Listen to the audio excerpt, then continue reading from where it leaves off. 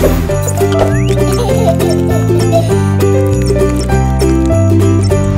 amiguinhos, tudo bom com vocês? Vocês estão vendo esse lindo vestido que eu estou usando? Olha como ele é lindo. Ele tem a blusinha rosa e a saia cheia de florzinha. A mamãe que fez ele pra mim. E como vocês sempre pedem pra mamãe ensinar como fazer vestido pra Baby Alive, a mamãe vem ensinar a fazer. Mas só que se você for criança, você não vai conseguir, porque nós vamos precisar costurar na máquina de costura. Então aproveita e já corre lá e chama a mamãe pra assistir esse vídeo e pede a ela pra fazer pra você. Vai lá, chama a mamãe que eu vou ficar esperando. Ai, esse vestido é tão lindo. Eu tô me sentindo uma princesa com ele. Ah, já chamaram? Então, mamãe, eles já chamaram. Já pode começar a mostrar como fazer esse vestido lindo. E se vocês estão gostando desse vídeo, já deixa um like aqui embaixo, se inscreve aqui no canal e compartilha esse vídeo com seus amiguinhos. E a mamãe falou também que ela vai deixar aqui embaixo na descrição do vídeo um link com o molde desse vestido para poder você fazer em casa junto com a sua mamãe. Então vamos assistir o vídeo. Para fazer esse vestido, eu escolhi esses dois tecidos.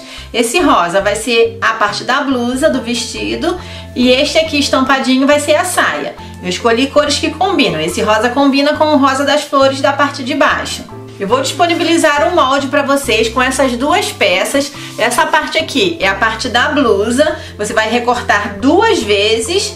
E esse daqui é a parte da saia. Você vai cortar esta medida aqui num tecido dobrado. Você vai dobrar o tecido, vai posicionar esse aqui em cima e vai recortar. Então ele vai ter uma tira com o dobro desse tamanho. O molde vai vir em tamanho natural e você vai recortar para poder ter essa peça.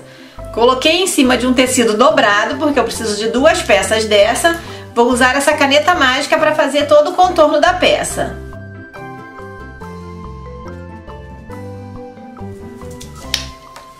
Prontinho. Vou prender os dois tecidos com alfinete antes de cortar, para que ele não fique correndo um em cima do outro e eu corte torto.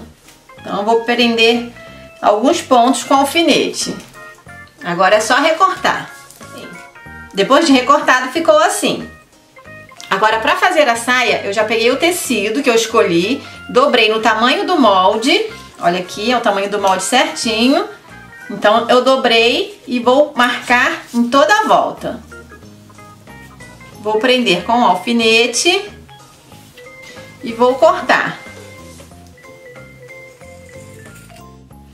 Tiro o alfinete e tenho uma faixa bem grande, com o dobro do molde que eu disponibilizei. Com as duas peças já cortadas, é só a gente ir lá para a máquina. Vou começar passando uma costura em toda essa volta aqui.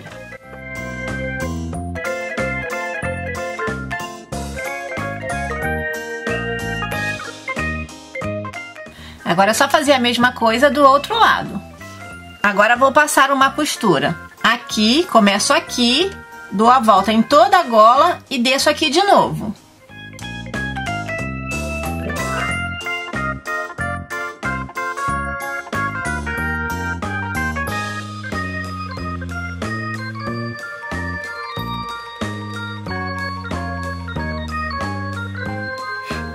Com tudo costurado, eu vou fazer picotes em toda essa parte curva, tanto aqui da manga quanto aqui da gola. É só dar uns picotezinhos assim, ó, com a ponta da tesoura, para que o tecido não fique embolado depois que você for virar. Agora, para desvirar essa peça, vai dar um pouquinho de trabalho, mas eu vou mostrar como que eu faço. Eu pego a pontinha, boto pra dentro, assim, ó, e vou empurrando, passando aqui por, essa, por esse espaço.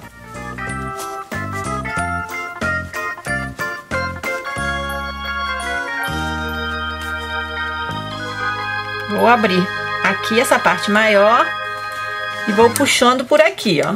Vou puxando devagar para não arrebentar o ponto. Ó, meu já passou. Agora é só eu desvirar ela toda. Uso o próprio palito, um palito de churrasco, para poder empurrar aqui a costura para fora. Olha só.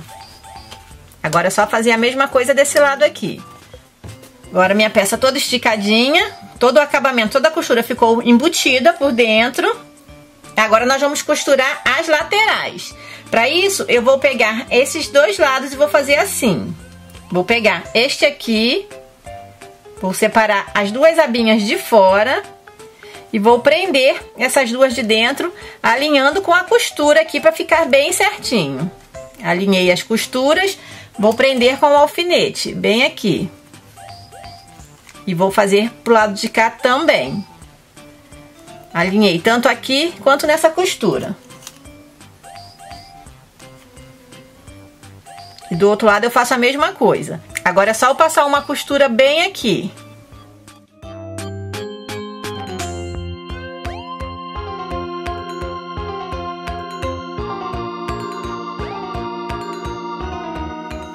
Já passei toda a costura, agora é só desvirar.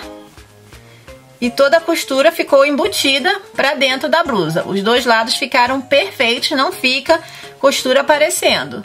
O avesso não fica aparecendo. Agora é só fazer a mesma coisa do lado de cá. Depois de costurar os dois lados, é só você reservar e vamos costurar agora a parte da saia. Eu vou usar a mesma linha rosa, porque aí vai ficar com um detalhe bem bonito aparecendo a costura. Primeira coisa que eu vou fazer vai ser passar um zigue-zague em toda a volta para que o tecido não desfie.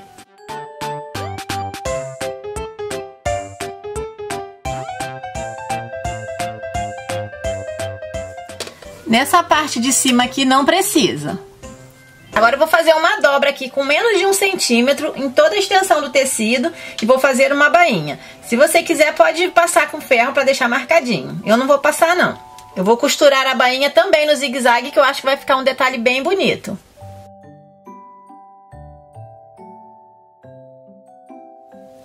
Olha só como ficou bonito. Agora eu vou dobrar uma beiradinha deste lado e vou passar uma costura reta.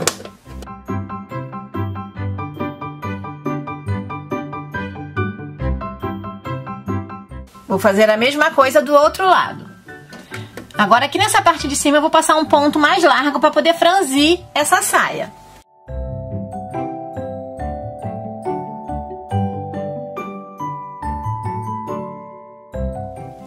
Agora é só eu pegar uma das pontas da linha e vou puxando para ir franzindo o tecido.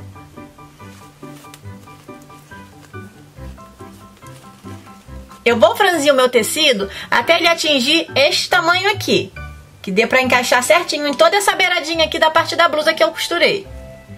Quando atingir o tamanho certinho, você vai pegar, vai alinhar a sua blusa com a sua saia.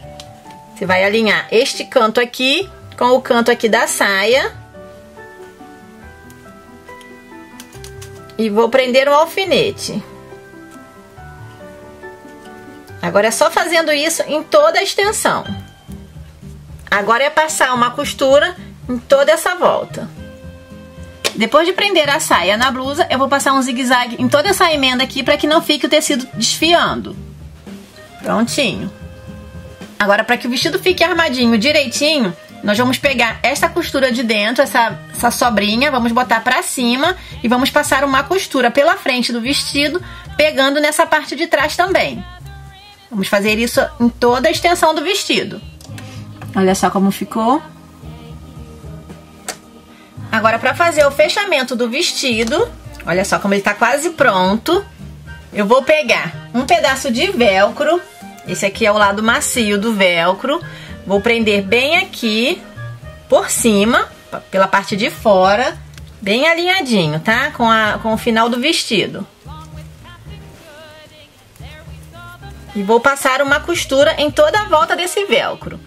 Depois vou pegar esse outro, que é o mais grossinho, mais durinho, vou botar por dentro, vou prender ele aqui e vou fazer a mesma coisa, vou passar uma costura em toda a volta. E depois de colocar o velcro, é só você fechar o seu vestido. O vestidinho ficou pronto. Tô aqui com a Laurinha e vou colocar o vestido nela para vocês verem como que fica.